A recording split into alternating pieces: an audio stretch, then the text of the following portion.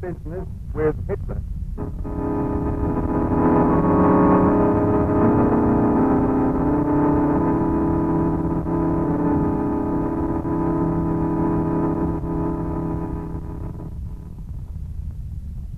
We are now at war. There are but two alternatives total victory or total defeat. There can be no such thing as a military stalemate that would result in the survival of Hitlerism. That is the opinion of a man who knows.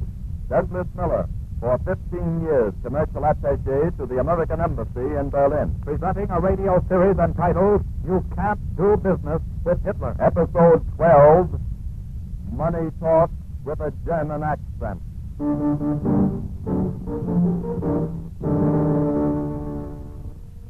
Douglas Miller speaking.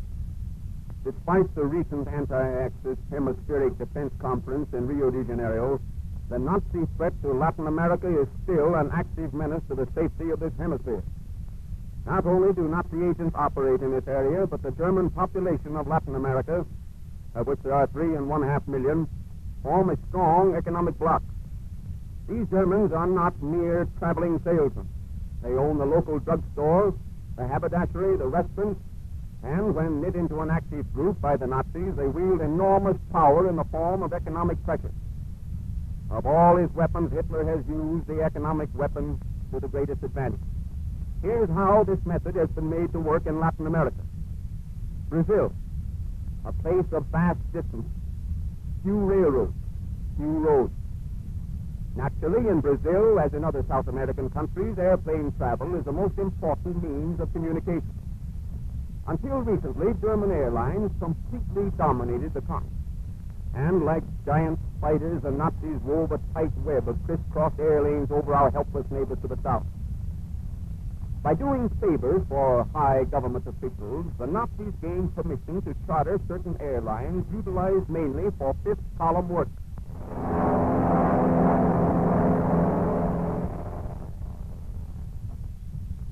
You like the trip, Senor Poetti? si, senor. Very enjoyable, senor. Very. You know, senor, it is not often I have been in an airplane. oh, that is good. The man who practically controls air travel in Brazil, and it is not often he has been in the air. well, senor, it is the truth.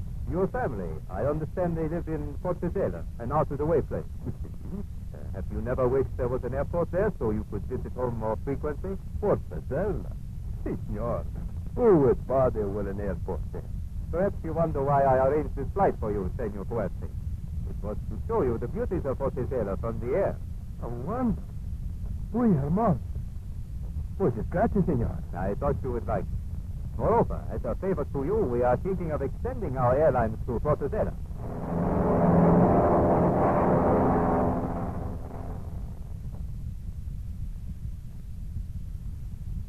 Well, Senor Puente did us well by granting extension of our service, eh, Herr Gerling?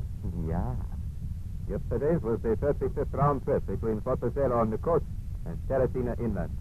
Ten passengers each trip. That's 350 more Germans we have smuggled in from Germany to carry on the work of departure. What happens when they get to Teresina? They disappear.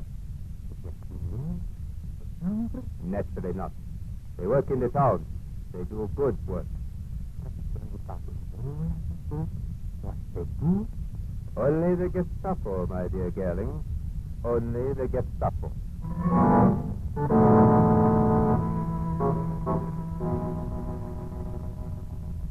If this story seems far-fetched to you, if you need proof, read the amazing article entitled Wings for the Trojan Horse, printed in the January 1941 issue of the authoritative magazine Foreign Affairs. Another aspect of Hitler's attempt to tie up the Latin American economy is reflected in the fantastic business deals the Nazis offer South American businessmen. The Nazis do this for two reasons. First, to bring the South American businessman into close, intimate contact with Nazism, even attempting to force him to join and contribute to Nazi fifth column activity. Second, to buy up and store all the strategic materials the Nazis can get their hands on, preventing American purchase. How does this Nazi program work out in actual practice? Listen. Senor Sebastian, Yes, what can I do for you? Gottfried Schramm, member of the German Trade, Trade Commission at your service. And what is your business, Senor Trump? You're the owner of several mica mines, Nine. You already know that. Now come to the point. The German embassy has been watching your activities with great interest. We believe you are in a position to make a small contribution to the German labor front in Ecuador. Say, 100,000 pesos. To the German Labor Front. Absurd. I'm not the organization. I'm a loyal citizen of Ecuador and no Nazi. This is purely business. In return for the contribution, the German Trade Commission is prepared to purchase all the mica produced by your mine for the next five years. All the mica produced here for the next five years? But the American and English blockade. I know, I know, I know, but we are placing this order for delivery after the war. You will build warehouses and store the mica until such time as we can take delivery. But we have no way. But what? The mica is sold, Nine. What does it matter when delivery is made? The Americans have a saying. I smell a thief. The Americans are suspicious people. We are offering you a perfectly legitimate proposition. I regret, senor, to have to refuse. Senor Sebastian, let me tell you a little story. A sad little story. In Berlin, we have something we call a blacklist. This list is given to the Gestapo. After we win the war, the Gestapo intends to pay visits to people whose names are on the list. You have heard of the Gestapo. Senor, we of Ecuador are renowned for our manners. But I'm losing mine. Now leave this instant. I am only telling you a story, pointing out that it is an easy thing to be a friend of the Reich, Herr Sebastian. Granting me to it, if we do not win the war, nothing will happen to you. The Americans have a good neighbor policy. But when Germany wins, the Gestapo has a long memory. Good day, senor. Wait. You like to be alive, Herr Sebastian? mica or murder? I see. I can wait an hour. You will wait more than I an hour. hour. not. The deal will be closed in an hour, because, senor, you will discover that the Gestapo are the world's greatest salesmen. You agree with me, yeah?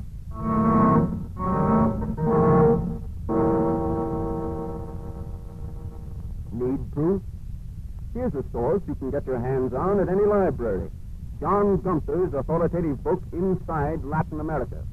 Read for yourself the story of Nazi coercion in Latin America. The Nazis used their economic power in many other ways. They used the buying power of the three and a half million Germans in Latin America as a weight over the heads of Latin American businessmen. And because so many Latin American Germans are in business, they form an effective and powerful lobby. For example, in Brazil. Hello? Senor De Oro speaking. You are Senor de Oro, the publisher? Yes, who is this? My name is Schulz, Heinrich Schulz. Well, Uh, I have noticed that your paper does not carry news from the Transocean News Service. Why is that? senor, we get our German news from more reliable sources. Lies. I beg your pardon. I said lies. Those other thoughts. I happen to now, know that... Senor de Oro, who could possibly know more about Germany than Transocean, since it is the official German news service? It won't cost you one peso. You mean the official German propaganda service, don't you? Now, Senor de Oro, you are unreasonable. Perhaps you don't understand me. You see, I represent the German businessmen of this city who advertise in your paper. I believe these businessmen contribute 90% of your advertising revenue. You mean that unless I carry Transocean news, the German businessmen will withdraw their advertising. Is that it? Don't put words in my mouth, Senor de Oro. Of course, Germans would prefer to advertise in a paper that prints the truth about the Third Reich. Do I make myself clear, Senor de Oro? Yes. I am afraid you do. Aha, good. A representative of Transocean will be in to see you this afternoon, Senor de Oro. Dankeschön.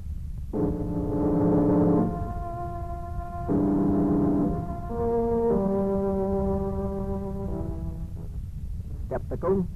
Need proof? Then get hold of a copy of the New York Times for June 27, 1940, and read this story and others like it for yourself. Since the war broke out, the Nazis haven't been able to slip any of their ships through the blockade. So, to maintain their economic prestige in South America and convince South Americans of this invincibility, they have resorted to all kinds of fantastic dodges. Here's their latest trick. Ah, Herr Gomez. Good. I've been expecting you. Ah, buenas tardes, Senor Cruz. It is a remarkable proposition you made me over the telephone. You brought these goods right through the blockade, eh? Correct. right under the eyes of the stupid Americans, Herr Gomez. You appreciate that, yeah? But I thought you Germans were short of raw materials. I read in the papers that... capitalistic lie. Here they are, Senor Gomez. You did the last there. I hope they play as well as the last shipment I bought from you. How can they help but play like the others? They were made in the same factory. It is well known that German radios are superior to any in the world. Very well. I will take the whole shipment at the price you quoted over the phone. Send me the bill. You can find your way out all right. Uh, but of course, I still don't see how you managed to get through the blockade. Wait till I tell this to Juan. and be patient. They won't believe it. Good day, Herr Gomez. Buenos dias, senor. Wait, wait. Yeah? Yeah, you're sorry me, Herr Cruz? Yeah, come here immediately. I have something for you to do. Yeah, what is it, Herr Cruz? I want you to change the labels on those radios. Radios? What radios? They are Dummkopf. Oh, him. They weren't here this morning. No, they won't be here tonight. Now hurry, change the labels. Yes. You will find made in Germany labels on the door. Remove the old labels and put these in instead. Yeah, but uh, I do not understand. If the Reich is making radios... The Reich is not making radios. But it is well for the South Americans to think they are. Oh. It is also well for them to think that we bring them through the blockade. It glorifies the Reich. But, but if they did not come from the Reich... Dummkopf, we bought them from the importing houses. Read the labels on the radios. Yeah. Well, what do they say? It says made in the USA. Made in the USA. A good joke, yeah?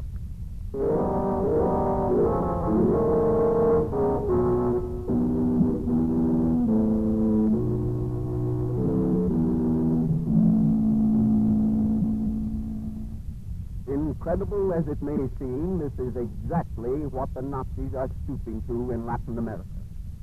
And even more fantastic, they are getting away with it. If you still need proof, a copy of the New York Times, dated June 30th, 1940, will convince you. But the best evidence of all lies in the words of Adolf Hitler. We shall create a new Germany in South America. Calls for a capable master. The treasures of their soil, Germany will be rich and great. We shall create a new Germany there. We shall find everything we need. You can.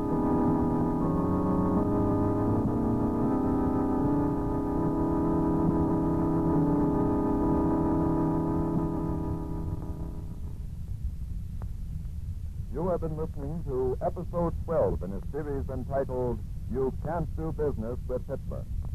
This series is based upon the experiences and observations of Douglas Miller, who was for 15 years commercial attache to the American Embassy in Berlin. If you would like a copy of this script, send us a postcard. Address it Radio Section, OEM, Washington, D.C. I'll repeat that address Radio Section, OEM, Washington, D.C. Listen for the 13th program in this series, which is entitled Work or Die. This transcribed program, written by Elwood Hoffman and directed by Frank Telford, was brought to you by the radio section of the Office for Emergency Management in Washington.